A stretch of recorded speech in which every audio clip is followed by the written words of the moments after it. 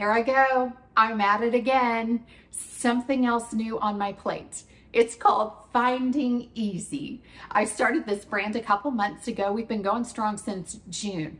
I have probably 50 videos already on YouTube and loaded. And what are those videos about, you might ask? They are about products, routines, and recipes that help you find easy life. I realized when people asked, how do you do it all? You have three kids, you're working, there's ministry. And I thought, oh, I just do it. That's just what Matt and I do. We just do it. But I realized we really have implemented things that help us make our life easier. What we've learned, I want to share with you.